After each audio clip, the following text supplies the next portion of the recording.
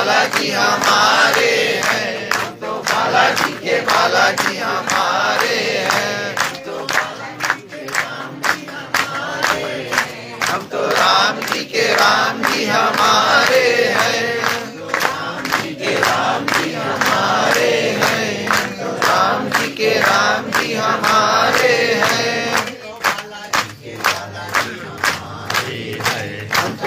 बालाजी के बालाजी हमारे हैं।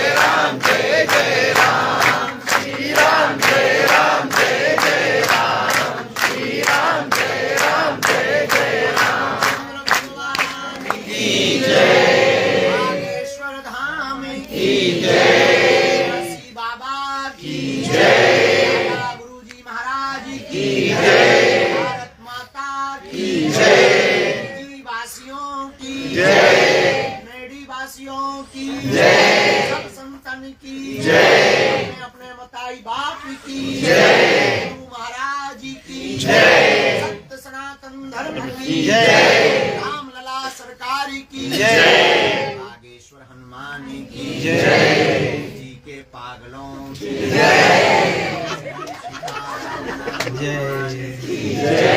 विश्व सनातन संस्था की। जय। सभी पदाधिकारियों की। जय।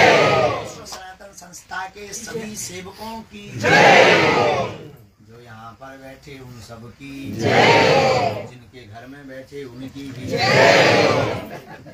हरि शरणम हरि शरणम हरि शरणम श्री सीताराम जी की मंगलमयी कृपा। भगवान बागेश्वर बालाजी के चरणासक का आशीर्वाद। जितने भी मेरी आसपास के शहरों से आए हुए ऑस्ट्रेलिया के अलग अलग शहर से आए हुए लोग हैं। अन्य अन्य देशों से आए हुए लोग हैं। हम भगवान बागेश्वर बालाजी के चरणों में मंगल में प्रार्थना करके आप सबको खूब खूब आशीर्वाद दे। आप सबका मंगल हो।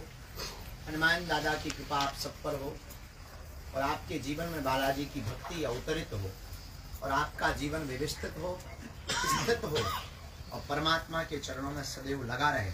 ऐसी हम बालाजी के चरणों में मंगल में प्रार्थना हम सबका सौभाग्य है, भगवान की महती कृपा से जीते हुए हम सब आध्यात्मिक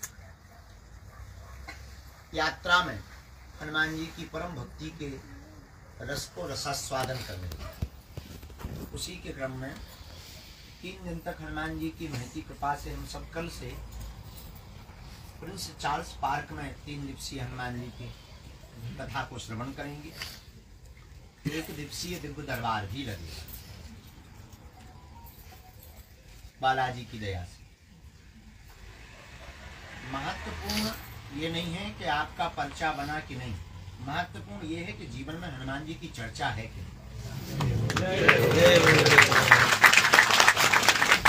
पर्चा से तुम्हारे कुछ प्रश्नों का उत्तर मिलेगा। पर हनुमान जी की चर्चा से ज़िंदगी और जन्म जन्म के प्रश्नों का उत्तर हनुमान जी एक ऐसे देवता हैं और फिजी के लिए तो खास क्योंकि फिजी वाले कुछ नहीं आ पाए हनुमान जी और रामचरित मानस ही भारत से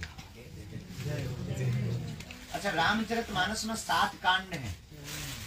बाल कांड अयोध्या कांड अरण्य कांड किष्किंदा कांड सुंदर कांड लंका कांड उत्तर अच्छा पाँच, सात कांडों में सबसे ज़्यादा किसी कांड की चर्चा होती है तो उसका नाम है सुंदर और सुंदर कांड में किसी की सबसे ज़्यादा चर्चा हो, चर्चा होती है तो हनुमान और सुंदर कांड का नाम ही सुंदर इसलिए रखा गया क्योंकि उसमें हनुमान जी इसलिए पाँचवें कांड की, सुंदर कांड की बड़ी चर्चा। है और देखो, हम हमेशा एक सूत्र भारत में कथाओं में बोलते हैं, बाहर भी बोलते हैं। कि हम लोगों पर जब संकट आता है तो हम लोग राम जी को पुकारते हैं लेकिन राम जी भगवान है, भगवान का भी जब संकट आता है तो वो हनुमान को पुकारते तो उन्हीं के चरित्र की चर्चा तीन दिन तक हम सब लोग यहाँ सुनेंगे। जो हनुमान जी की अनुकंपा होगी तो सभी लोग इसी शहर के आसपास के जो भी आए हैं, इन तीन दिवस तक काम तो ज़िंदगी भर रहना। और सात बजे के बाद क्या काम? खाओगे, पियोगे पिक्चरों में जाओगे। जाओ दो प्रकार की ज़िंदगी होती है एक काम काज की एक राम काज की तो ज़िंदगी भर काम रहना है तीन दिन ना तीन दिन तक के लिए आप लोग समय निकाल कर आपके मित्र सहयोगी परिवारजन देखो कल का कोई ठिकाना नहीं जिस कल की तुम चर्चा कल कर रहे थे, वो कल आज है जिस कल की तुम चर्चा कल कर रहे थे, वो कल आज। और जिस कल की तुम चर्चा कर रहे हो, वो कल हो जाए। ये तय है कि ज़िंदगी में कल का कोई ठिकाना क्योंकि कल होता ही नहीं। जो कल है, वो आज। कल जो कल था, वो आज आज तो कल इससे तय होता है कि कल होता नहीं। जब कल नहीं होता है तो कल के चक्कर में क्या पढ़े आज ही के चक्कर में पड़े और यही ज़िंदगी का सूत्र है। हमारे एक बहुत अच्छे संत हैं, बहुत अद्भुत बात बोलते थे बोले, जो चिंता में पड़ा है, वो समझ जाइए भविष्य में जीता तो जो पछतावा में बैठा है, वो समझ जाइए भूतकाल में जी रहा और जो मुस्कुराता हुआ बैठा है, वो समझ जाइए वर्तमान में जी रहा